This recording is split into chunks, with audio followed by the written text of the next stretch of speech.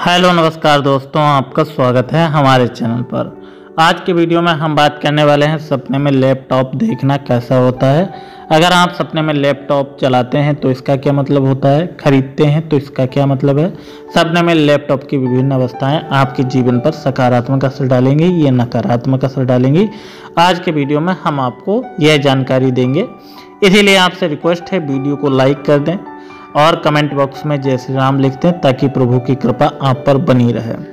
अब चलिए बात कर लेते हैं सपने में लैपटॉप देखना और इससे संबंधित हमारा स्वप्न शास्त्र क्या कहता है। तो मैं आपको बता दूँ, जब हमारा स्वप्न शास्त्र या स्वप्न विज्ञान लिखा गया था, उस समय लैपटॉप इत्यादि नहीं हुआ करते थे। फिर भी एक हम आइडिया बता देते हैं जो कि स्वप्न विज्ञान से लिया गया है।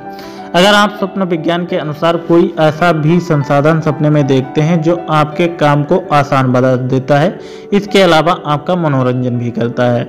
ऐसा कोई भी वस्तु, कोई भी प्रसाधन आप सपने में देखते हैं तो ये शुभ होता है।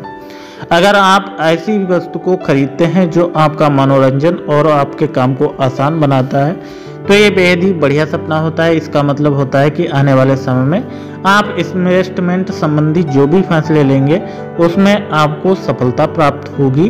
अगर आप कोई ज़मीन इत्यादि खरीदना चाहते हैं या किसी के साथ बिज़नेस करना चाहते हैं तो उसमें आपको ज़्यादा से ज़्यादा चांस है कि आपको सफलता प्राप्त हो जाए भविष्य में।